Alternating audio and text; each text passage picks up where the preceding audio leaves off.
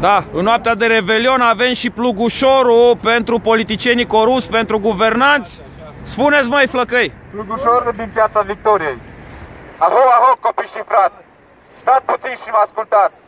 Mâine anul se înnoiește, plugușorul se pornește și începe a ura pe la casa Colinda. Iarna grea, hoția mare, Dragnea nu mai sta la soare. Vino Dragnea și te du la jlava cu Colindu. Ia mai strigați, băi!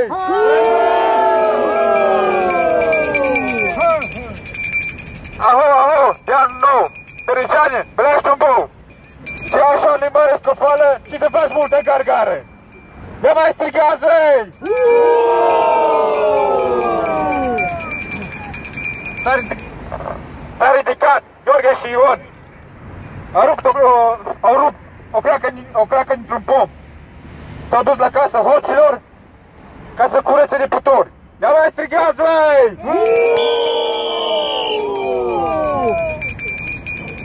Și am să mai, și am să mai spun încă ceva pentru Tudose Toader Ciordache. Voi încercați cu abuzurile să scăpați, dar nu vă ține, pentru că nu trăim în filme. Ia mai strigați, băi! Să fii gază sănătoasă, că a ajuns colina, ca cânta colina noastră. Să fim oameni sănătoși la anul și la mulți ani. Ia mai strigați! Demisia! Demisia! Demisia! Demisia! Demisia! Demisia! Demisia! Demisia! Demisia! Demisia! Demisia! Demisia! Demisia! Demisia! Demisia! Demisia! Demisia! Demisia! Demisia! Demisia! Demisia! Demisia! Demisia! Bună seara la mulți ani, suntem în piața Victoriei, începem Rebelion 2018. Lângă mine este Ioana. O știți pe Ioana, este o figură simbolă a protestelor rezist și vreau ca Ioana să fie prima persoană care vă spune câteva cuvinte. Bună seara, Ioana! Bună seara! Să le spunem la mulți ani celor care se uită la noi, în primul rând. La mulți ani români, cu spirit civic. Ioana, care este urarea ta pentru cei care reprezintă corupția în uh, România? Ce urare ai să le faci corupților pentru anul 2018? Hua infractorilor! Hua 2018 să vă, să vă găsească în pușcărie. În pușcărie. Ioana, ce facem cu spiritul civic? Ne trezim, se trezesc românii, se deșteaptă ca în imnul național. În ianuarie, în 20 ianuarie, o să fim sute de mii în stradă, să-i oprim pe penali și după aceea în ziua Z. Sper din tot sufletul. Sper din tot sufletul ca românii să se mobilizeze și iar cei 300 de mii din februarie 2017 să se întoarcă alături de noi, pentru că acum situația, situația este și mai gravă decât uh, a fost atunci cu ordonanța 13. Ioana, ce te-a mobilizat pe tine? Ce te-a ținut în priză? Ce te-a determinat tot anul, că e aproape un an de când, să vin fiecare seară aici în, uh, în Piața Victoriei la protestul uh, Rezist și la protestul de la Parlament? Ce te-a determinat pe tine? Care a fost lucrul cel mai important care te-a determinat să protestezi în fiecare zi în toată această perioadă? Demnitatea, care a, demnitatea mea a, a fost în pericol. Politicienii aceștia corupți au vrut să-mi calce în picioare demnitatea. Iar eu nu am vrut să plec capul în fața acestor infractori. Mulțumesc frumos, Ioana! Așadar, ați auzit-o pe Ioana, e vorba de demnitate. E foarte important, e nedemn pentru niște oameni cinstiți să fie condus, să accepte să fie conduși de niște infractori. Ne-a spus-o Ioana, o figură simbol a protestului rezist. Lângă mine este Lia Tomo, știți și pe ea din, de la protestele rezist. Ați văzut-o și la sediul DNA atunci când l-a înfruntat pe deputatul PSD Liviu Pleșeanu. Ați văzut-o și la înalta curte de casație și justiție. Bună seara, Lia, și la mulți ani! Bună seara! La mulți ani, la mulți ani tuturor românilor și mi-aș fi dorit să fie mai multă lume în piață, poate nu în seara asta, pentru că lumea în seara asta stă să facă în familie, cu prietenii, noul an, să intre noul an, dar De zi cu zi ar fi bine să fie mult mai mulți oameni în stradă, pentru că ceea ce se întâmplă este foarte grav și lumea încă nu conștientizează.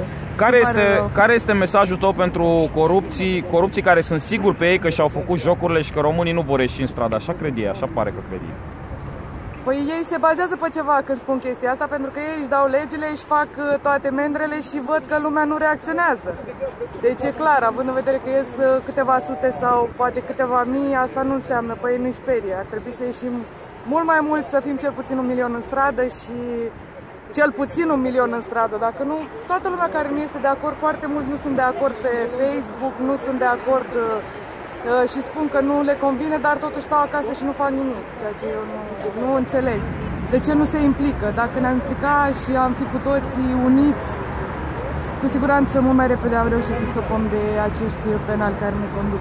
Anul 2018, anul centenarului, va fi anul în care ne vom uni toți oamenii cinstiți și vom ține piept uh, hoților. Să sperăm, eu sunt foarte optimistă și chiar sper că 2018 uh, va, uh, îi va prinde pe toți în pușcării. Eu asta sper din suflet și sper să nu mai plece din țară. Ei fură milioane de euro și pleacă în vacanțe, pleacă să ceară azil politic. Un om fură o găină și intră la pușcărie. Nu este, nu este corect. Ar trebui să stea aici în țară și aici să facă pușcărie, nu să intre la azil politic. Mulțumesc frumos, Lia, la mulți ani! La mulți ani! Da, domnul Marian Moroșan, îl cunoașteți de la proteste, tot timpul în față, tot timpul cu portavocea, una Acum dintre vocile, figurile importante ale protestului. În primul rând, ce le urați uh, politicienilor penali cu prilejul noului an? Ce urare aveți pentru ei? La mulți ani de pușcărie.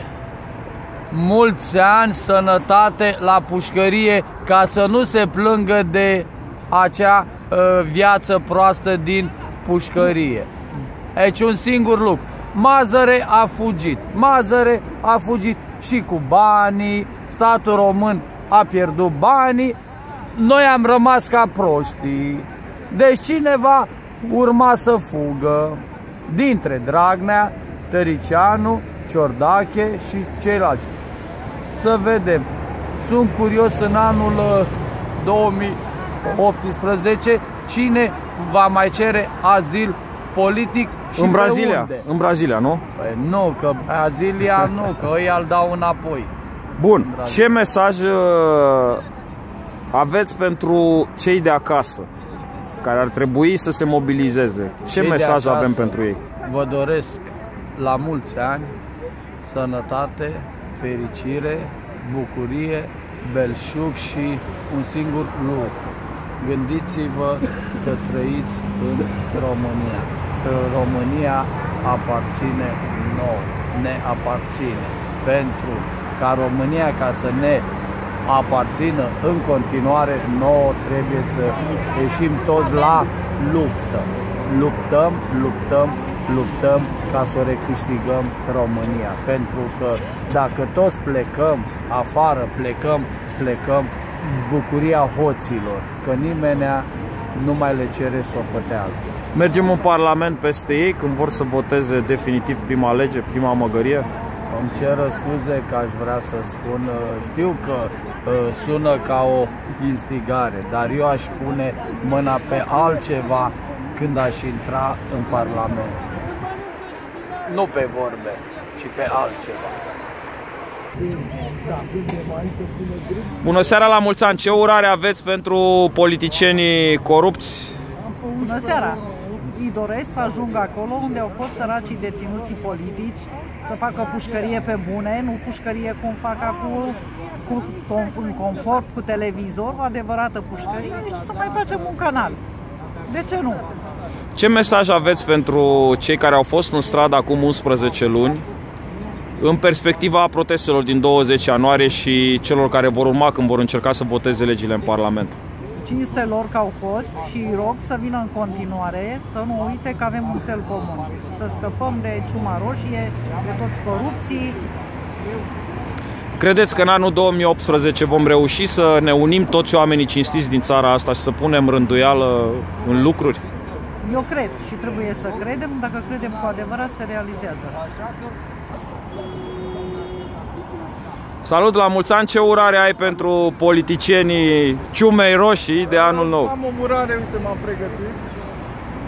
Uh, le urăm să urmeze pe domnul Mazăre, să meargă în Madagascar. Le putem face chetă pentru un bilet doar dus. Uh, și pot face acolo un uh, parlament al lor în care să se joace de-a justiția, de-a economia, de-a sănătatea, de-a educația și poate au mai mult Deci nu ești neapărat foarte dur, adică nu vrei să-i vezi la pușcărie, numai să ne lase, să plece unde vor ei exact, să ne da, lase. Da, da. Dacă li se pare departe Madagascarul, chiar Belina e, e ok, adică le lăsăm uh, să fie acolo, să se strângă toți acolo. Sună interesant asta, domnul Dragnea a refugiat piscicol la Belina, nu? Da, da, și domnul Nicolicea și uh, toți, toți. toate Și să-și dea la Belina acolo ce legi vor ei și să și le respecte exact, singur, nu? Exact, să-și facă lumea lor, că noi nu prea ne, adică nu prea ne potrivim cu lumea lor și să ne lase că ne descurcăm. Eu sunt sigur că ne descurcăm și va fi bine pentru toată lumea și pentru ei și pentru noi. Sunt foarte mulți oameni care ne urmăresc pe rețele sociale, care au fost în stradă acum 11 luni și pe care noi tot chemăm uh, în stradă. Care este mesajul tău pentru ei? Mesajul meu este că vor urma câteva zile, vor urma zile decisive pentru, uh, pentru țară și uh, uh, istoria ne vede, adică chiar așa este. E, cred că mi se pare cel mai decisiv moment după Revoluția din 89. Și trebuie să fim atenți ce se întâmplă, pentru că se decide soarta țării, adică de, de aceste câteva zile și de modul cum vor reacționa noi Uh, va depinde cum va arăta România. Asta e urarea. Salut și la mulți ani, ce le urez politicienilor lui Dragnea, lui Tăricianu și compania de anul nou. La mulți ani, domnilor politicieni, în primul rând vreau să vă mulțumesc foarte tare pentru că vă dați seama cât de mult mi-am, mi dorit eu ca de Revelion, în loc să fiu cu familia mea, să fiu aici în Piața Victoriei. Foarte tare mi-am dorit uh, și așa că aș dori să vă urez și noastră un uh, la mulți ani. Sper să vă simțiți foarte bine acolo unde sunteți împreună cu familiile și sper că v-ați dat seama că în anul 2017 ați avut uh, numai realizări și ați făcut numai bine acestui popor. Gândiți-vă foarte bine. Deci noi în acest moment suntem aici.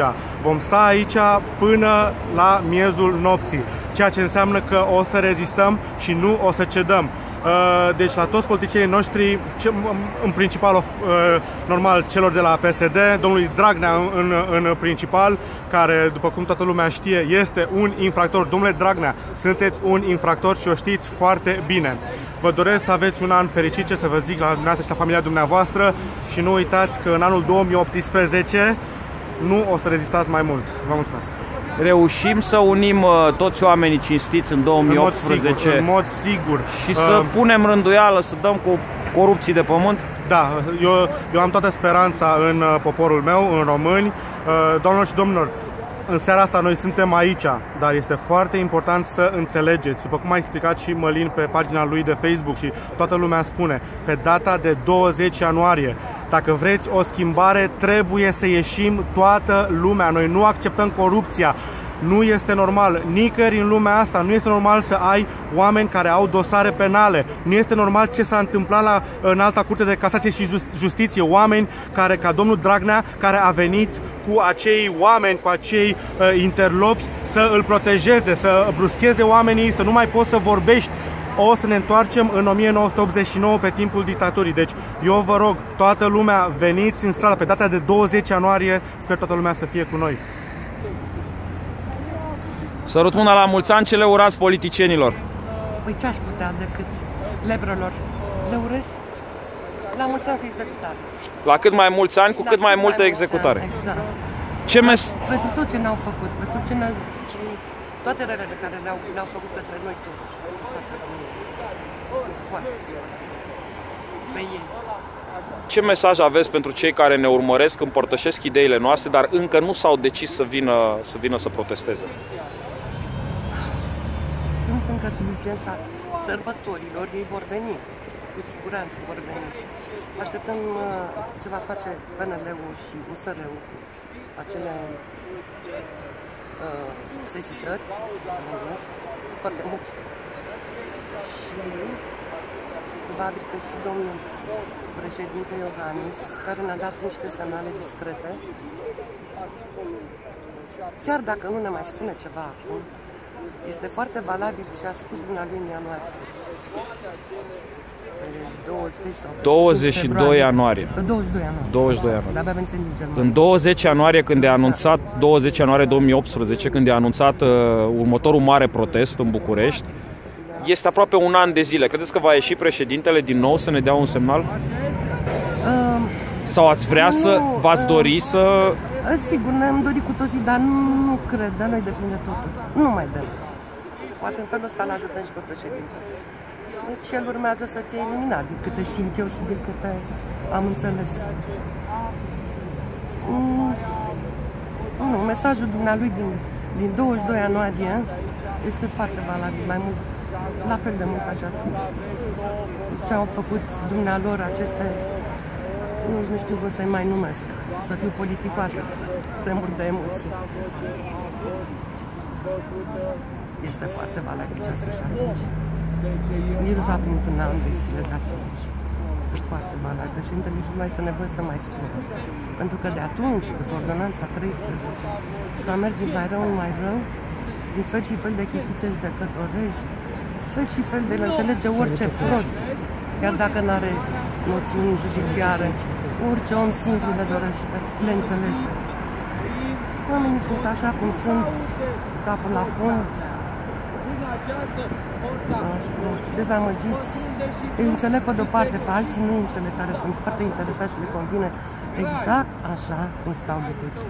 Important e să nu Chiar ne le pierdem convine noi mult. speranța, cei Dar suntem care foarte mobilizăm mulți în oameni. casă. Da, nu, Da. nu, eu nu, sunt foarte bucuroasă. Eu când Vă am mulțumesc venit- frumos și la mulți ani încă o dată. Mulțumesc, mulțumesc mult, Doamne ajută!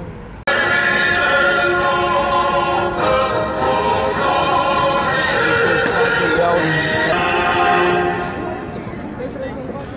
Bună seara, de ce ați venit de Revelion în piața Victoriei? Pentru că este trecerea între ani, de 2017 și 2018 și cred că în momentul de față Piața Victoriei este singurul loc în care un român adevărat poate să facă Revelionul. Trebuie să le aducem aminte celor care sunt la conducere, domnilor parlamentari, pentru care avem toată stima și tot respectul, că trebuie să slujească țara, trebuie să lucreze pentru binele poporului, nu pentru grupuri de infractori. De Asta am. Ce mesaj aveți pentru cei de acasă care susțin ideile noastre, dar din diverse motive nu au reușit să fie aici sau nu au reușit să fie în stradă în ultimele luni? Dragilor, astăzi am venit eu, mâine veniți voi. Deci rămânem bun, dar nu fără, fără sunet. Dar ce? Cum se vă 2018? De ce? Fără, fără, nu argumentăm nimic. E tot București, în tot București și în toată lumea Da, dar nu asta. punem Lumea aici. se distrează, este rebelion. În piața acolo este muzică. Nu, acolo e altceva, nu, e altceva. Doar atât. Rămâneți în continuare, dar fără, fără sistem de sunet. Da, vă rog. Dar nu există fără Știți mai bine, veniți frumos să Mersi și de 1 ianuarie. Deșteaptă-te române!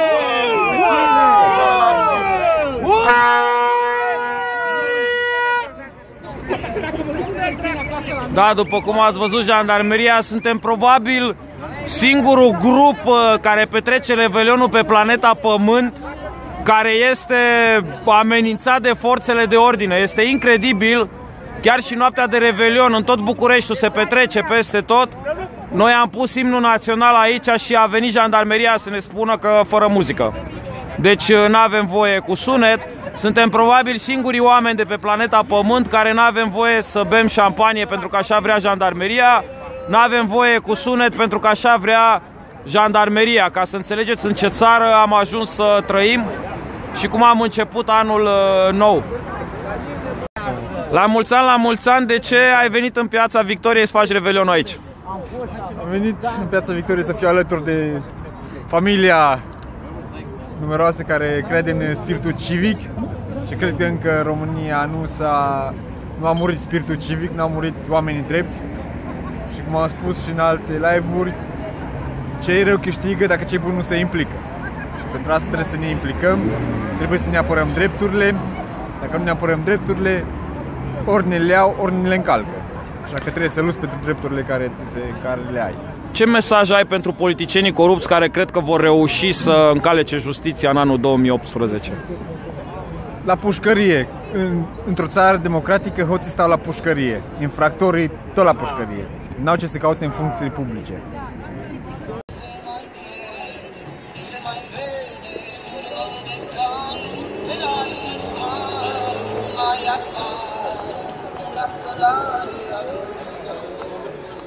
Hai să am anul ăsta când plecăm toți din țară, E cu tricul, e tot tricul!